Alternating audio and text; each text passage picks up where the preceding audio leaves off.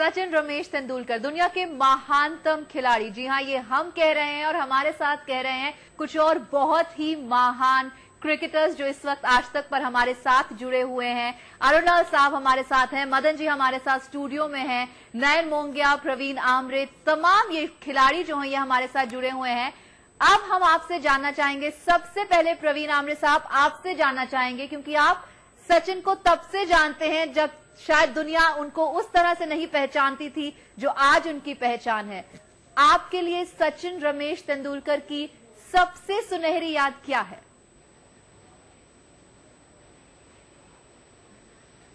जी हाँ मैं हम लोग सचिन का नाम हम हमारे आचरेकर सर थे और शादाश्रम स्कूल था और वही हम शिवाजी पार्क से बड़े हुए जहाँ से खाप था कि इंडिया के लिए खेलना है। और कोई भी क्रिकेटर के लिए उसका पहला मैच इंटरनेशनल मैच और जब वो इंडिया कैप पहन के ग्राउंड पे जाता है वो हमेशा यादगार होता है। और मेरे लिए भी वो यादगार था और सुनहरा पल वही था क्योंकि मेरे मैं जब पहली पहला मैच कलकत्ता में खेलने गया था तो मेरा नॉन स्ट्राइकर सचिन तेंदुलकर था और हम 64 फोर थे साउथ अफ्रीका के साथ और वहाँ पे हम दोनों ने एक साझेदारी की और हम इंडिया मैच जीते। मगर सबसे या, यादगार वही है कि जब स्ट्राइक लिया और सामने पहला सामने जो मेरा नॉन स्ट्राइकर था, वो सचिन था और वो उसे बेहद खुशी हो रही है कि जो जो आदमी हमें मैं इंडिया के लिए खेला था, वही आदमी आज 20 साल इंटरनेशनल क्रिकेट में कर चुका है। क्योंकि हम, हमें, हम जानते हैं कि पाँच साल इंटरनेशनल क्रिकेट खेलना कितना कठिन होता है, मगर सचिन ने ये चार गुना करके दिखाया है। कि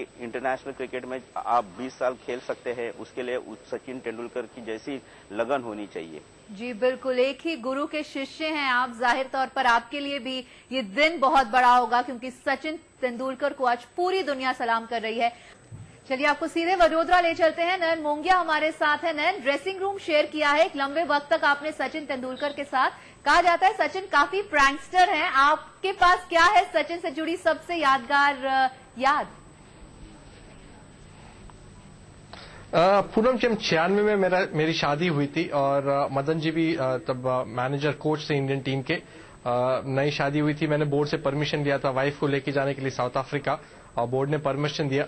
अब जब हम लैंड हुए साउथ अफ्रीका में, जब मीडिया पर्सन वहाँ खड़ी थी इंडियन टीम का अराइवल के लिए जब उनको मालूम चला कि नयन मोंगिया की शादी उनकी बीवी साथ में तो सचिन को दिया, कहा कि आप एक पोस्ट दीजिए नयन मोंगिया को गिफ्ट देते हुए।